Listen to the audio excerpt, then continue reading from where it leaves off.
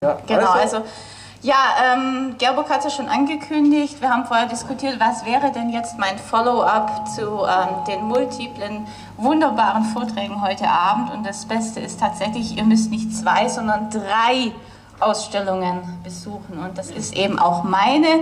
Die ist auf Schloss Faxenfeld. Die nennt sich Kreative Köpfe. Das ist ein bisschen verzerrt, aber egal, okay.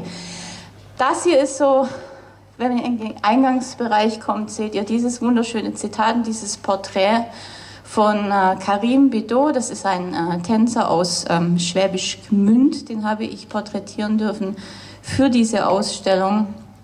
Ähm, da habe ich insgesamt 45 kreative Künstler, Musiker aus dem Ostalbkreis porträtiert.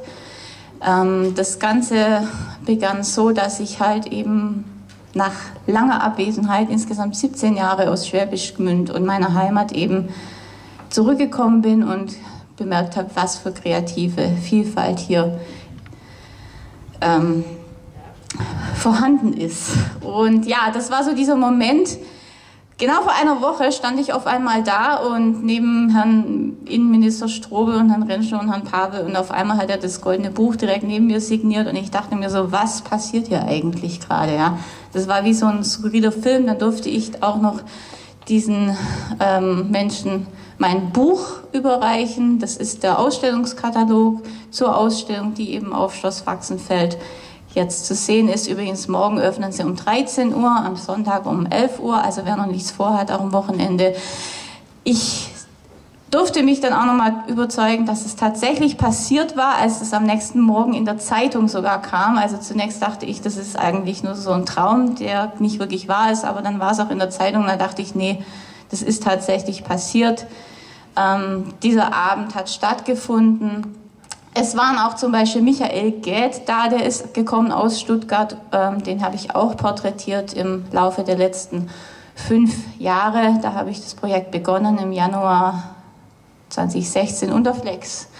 Ähm, und das eben in Zeiten von Corona zu wuppen, darauf war ich dann schon mächtig stolz, dass wir da so eine Vernissage haben konnten. Eine relativ kleine, naja, 100 Leute es ist schon gut, ja, aber wir, wir müssen uns tatsächlich begrenzen, weil halt doch, äh, glaube ich, sonst einige mehr Leute gekommen wären. Das sind so Eindrücke jetzt aus der Ausstellung, wie sie da hängen. Und jetzt möchte ich noch ein bisschen was erzählen, wie es begonnen hat.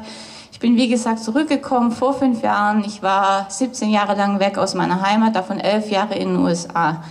Ich kannte niemanden mehr, wirklich keine Sau. Ich war hier völlig alone, bin Fotografin, habe viel Erfahrung und dachte mir, ich muss was tun, ich muss anfangen, ein Projekt zu machen, auch wenn ich keine Aufträge habe, aber irgendwie muss ich anfangen zu fotografieren. Und dann habe ich meinen ganzen Mut zusammengenommen und den Mick Baumeister aus Schwäbisch Gmünd gefragt. Ähm, da wohnte ich auch zunächst wieder, das ist ein Filmkomponist.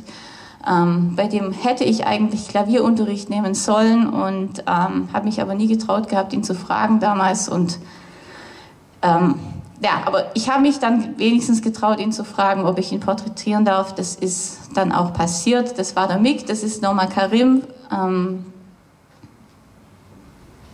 den ihr schon zum Eingang ges gesehen habt. Das ist Yongsa Sommer, eine bildende Künstlerin aus Korea ursprünglich. Die lebt jetzt auch in Schwäbisch Gmünd. Ähm, das Ganze basiert, wie gesagt, auf dieser Idee. Ich wollte diese, diese ganzen kreativen Menschen, die unsere Heimat, den Ostalbkreis ausmachen, die ihn prägen, die ihn voranbringen. Uwe Renz, ähm, Dirigent der Jugendphilharmonie Ostwürttemberg, ursprünglich aus Ahlen, lebt jetzt in Salzburg, pendelt so hin und her. Ich lasse das jetzt einfach mal so weiterlaufen und kommentiere es nebenher. Wie gesagt, vor einer Woche haben mich die beiden Damen, die Gerburg und die Karin, äh, sozusagen gefragt, möchtest du nicht sprechen? Deshalb ist es relativ spontan zusammengekommen. Elias Opferkuch, ähm, auch ein sehr junger Kreativer, der jetzt in äh, Lübeck studiert und da so seinen Werdegang inzwischen sehr gut voranbringt. Eckhard Dietz, der leider nicht mehr unter uns ist, Bildhauer aus Schwäbisch Gmünd. Diese ganzen Porträts hängen, wie gesagt, 28 an der Zahl, sind sie auf Schloss Faxenfeld im Format 1,20 Meter auf 1,20 Meter. Ähm, kurzer Werbeblock hier, die sind auch käuflich erwerbbar, die Kunstdrucke in verschiedenen Formaten. Ähm, das wird dann auch auf dem Schloss. Äh, das ist übrigens die Jule Weibel. Ähm, kennt die jemand von euch zufällig aus Böbingen? Kennt jemand Crow? Das ist seine Schwester. Julie Weibel ist aber auch super kreativ. Sie macht, sie ist Designerin. Ja, Michael Geld hatte ich ja vorhin schon gezeigt. Der den durfte ich auch dann mal in meinem Studio begrüßen. Was ich festgestellt habe, während ich porträtiert habe, war, dass es einfach eine irrsinnige Vielfalt gibt hier im Ostalbkreis. Und das wollte ich in einem Querschnitt zusammenfassen. Vincent Klink, Koch, der jetzt in Stuttgart ein wundervolles Restaurant hat, ich könnte täglich weiter fotografieren, weil es hier so irrsinnig viele tolle Menschen gibt. Gerburg ist auch mit dabei. Wer sie sehen möchte, geht halt aufs Schloss Faxenfeld in die Ausstellung. Hier ist ein kleiner Einblick in den Ausstellungskatalog. Da hat auch jeder Porträtierte, das muss ich dazu sagen, einen wunderbaren Text verfasst. Ich habe jedem zwei Fragen gestellt, nämlich warum tust du das, was du tust? Und inwiefern prägt dich unsere Region, der Ostalbkreis, in deinem Schaffen? Und die Antworten, die könnt ihr im Buch finden, im Buch lesen. Das wird unter anderem auch im Museumsshop im Museum im Prediger in Schwäbisch Gmünd kann man es auch erwerben oder direkt bei mir. Ähm, wer da interessiert ist, kann sich gerne mehr informieren, zum Beispiel auch auf meiner, da fehlt noch eine Slide. Kommt. kommt. Ah, hier, ja, super. Meine Website, mein Instagram-Account, die Kreative Köpfe-Website und der Kreative Köpfe Instagram-Account.